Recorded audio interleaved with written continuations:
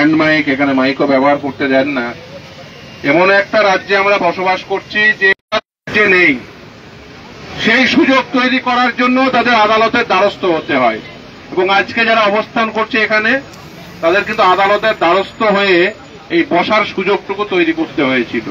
দুর্ভাগ্য এখানে এখন প্রশ্ন হলো, তারা কি বলতে চায় এবং কেন তাদের বসতে দেওয়া হচ্ছে না বা হচ্ছিল না?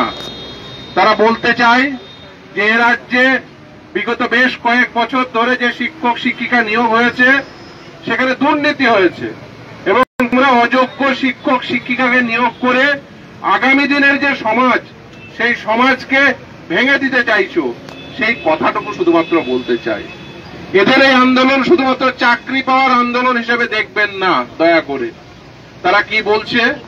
তারা বলছে যে যোগ্য শিক্ষক নিয়োগ করুন। যোগ্য শিক্ষক নিয়োগ না হলে কি হবে? যিনি আগামী দিনে ডাক্তার হবেন, এই শিক্ষক শিক্ষিকাদের কাছ থেকে তো পাঠ নিয়েই তো তিনি ডাক্তার হবেন। এই শিক্ষক শিক্ষিকাদের কাছ থেকে পাঠ নিয়েই তো ইঞ্জিনিয়ার তৈরি হবে। এই শিক্ষক শিক্ষিকাদের পাঠ নিয়েই তো আইনজীবী তৈরি হবে। এই শিক্ষক শিক্ষিকাদের কাছ থেকে পাঠ নিয়েই তো বিচারপতি তৈরি হবে। যারা অযোগ্য শিক্ষক, যারা দুর্নীতি করে শিক্ষকতা পাচ্ছে, তারা কোন মানের শিক্ষা দেবে? কোন মূল্যবোধ শিখাবে তার ছাত্রছাত্রীদের? এই প্রশ্ন আসবে না। এই প্রশ্নগুলো শুধুমাত্র করতে চাই।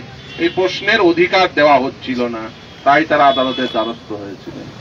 তারা আদালতের দ্বারস্থ হয়েছিলেন যে, দেখো, যোগ্য শিক্ষক অ্যাপয়েন্টমেন্ট পায়নি।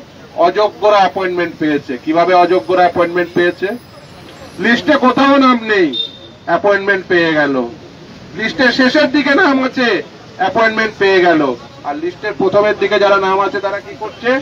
এখানে বসে বসে তারা তাদের কথাটুকু শোনা- শোনাতে চাইছে, সেটুকু সুযোগও পাচ্ছে না। লিস্টে কারা, কাদের নাম উঠল? না, মন্ত্রী কন্যা। আপনারা নিশ্চিত নিশ্চিতভাবে সকলে গোটা রাজ্য জুড়ে এখন এটা টপিক হয়ে দাঁড়িয়েছে। মন্ত্রী কন্যা। তিনি মাত্র একষট্টি নাম্বার পেয়েছেন। তিনি ওয়েটিং লিস্টে এক নম্বরে অবস্থান করলেন। এবং শুধু তাই নয় তিনি যে একষট্টি পেয়েছিলেন, এই তথ্যটুকুও কখনো স্কুল সার্ভিস কমিশন জানায়নি। তারা কি বলছে? এই ছেলেমেয়েরা বলছে যে, দেখো, রুলসে কি আছে? রুলসে বলা আছে যে, মেরিট লিস্ট প্রকাশ করলে তার সঙ্গে নাম্বার দিতে হবে। খুব ইনোকুয়াস ওয়ান। অত্যন্ত নিষ্পাপ কয়েকটা জিজ্ঞাসা যে, তুমি মেরিট লিস্টে নাম্বার দাওনি কেন? এই নিষ্পাপ জিজ্ঞাসাও করার সুযোগ নেই। নাম্বার দেয়নি এই কারণেই। নাম্বার দিলে তো জানা যেত যে পরেশ অধিকারীর কন্যা অঙ্কিতা অধিকারী একষট্টি নাম্বার পেয়ে থেকে সাতাত্তর থেকে বেশি বানিয়ে দিয়ে তাকে এক নম্বরে অবস্থান করিয়ে তাকে চাকরি দেওয়া হয়েছিল। তারা ভেবেছিল হয়তো দিনের শেষে তারা দুর্নীতি করে এই চাকরিটি বাগিয়ে নিয়েছে, কেউ কিছু করতে পারবে না। কিন্তু সব শেষে তো বিচার হয়। হ্যাঁ দেরি হয়।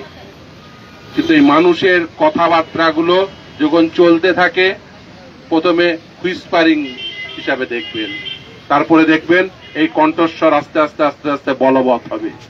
প্রথমে একজন ছিলেন, দুজন হয়েছেন, চারজন হয়েছেন দশ জন হয়েছেন, একশো জন হবে, এক হাজার জন হবে, প্রতিটি মানুষ বলতে শুরু করবে, না, এটা অন্যায় হয়েছে। ভুল সর্বদাই ভুল মিথ্যা সর্বদাই মিথ্যা, তা কখনো সত্য হতে পারে না। আপনি যতই চিৎকার করুন, যতই আপনার ওই ক্ষমতার আস্ফালন করান না কেন, আপনি মন্ত্রী হতে পারেন, আপনি শান্তি হতে পারেন, আপনি আমলা হতে পারেন, যাই হন না কেন, দিনের শেষে ওই বিচারের দণ্ড আপনি পাবেন এবং দণ্ডিত হবেনই। আপনি যদি ভুল করে থাকেন, তার দণ্ড আপনাকে আজ না হয় কাল পেতেই হবে। কেউ ভাববেন না যে শুধুমাত্র এই ক্ষমতা দিয়ে আমি সমস্ত মানুষকে চুপ করিয়ে রাখব, তাহলে এত মানুষজন আজকে একসঙ্গে জড়ো হতো না। এরা তো সকলে ওই ক্ষমতার বিরুদ্ধে বলতে এসছে। ক্ষমতার বিরুদ্ধে মানুষ বলবে, সত্যের সঙ্গে থাকতে চাইবে, তাই বলবে। এই নিয়োগ প্রক্রিয়ায় কি হয়েছে? আপনি প্রাইমারি থেকে শুরু করুন। প্রাইমারিতে কি আছে? প্রাইমারি নিয়োগের ক্ষেত্রে বলা আছে প্রতি বছর একটা করে টেট কন্ডাক্ট করবে। এনসিটি গাইডলাইন বলছে, এ রাজ্যে সর্বশেষ টেট প্রাইমারির ক্ষেত্রে কবে হয়েছে? টেট টু বিজ্ঞপ্তি হলো, আর দু হাজার একুশ সালে পরীক্ষা হলো। এখনও পর্যন্ত কোনো নিয়োগ প্রক্রিয়া হয়নি।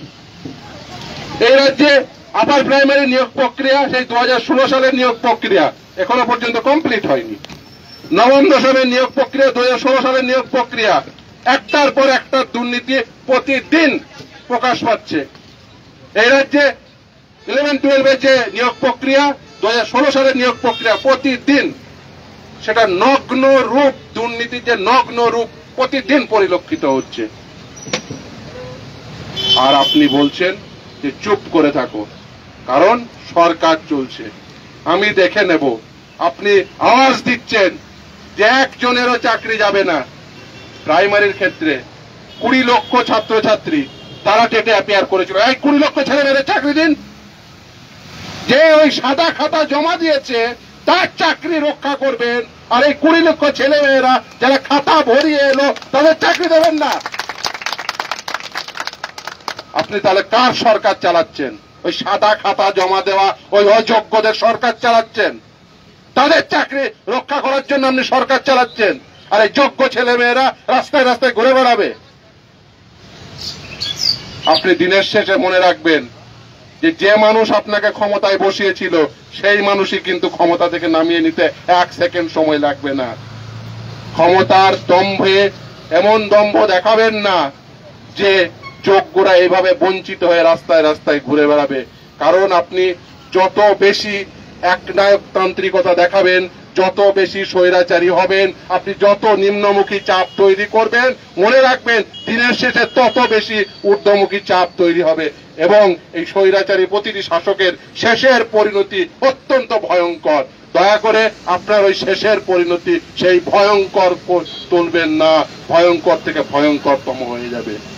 দয়া করে যোগ্য ছেলে মেয়েদের তাদের যোগ্য জায়গায় বসিয়ে দিন। এদের স্থান এই রাস্তায় নয়, এদের স্থান স্কুলের চেয়ারে। সেখানে বসিয়ে দিন, যত শীঘ্র করবেন, সেই কাজটি যত শীঘ্র করবেন, আপনার উপর ওই যে চাপের কথা বলছিলাম, সেই চাপ তত কম হবে। না হলে এই চাপ দিন দিন বাড়তে থাকবে। মনে রাখবেন, এই বলে আমি আমার বক্তব্য শেষ।